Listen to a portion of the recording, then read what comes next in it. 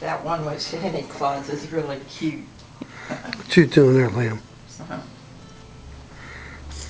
He wouldn't look at Santa though. It was funny.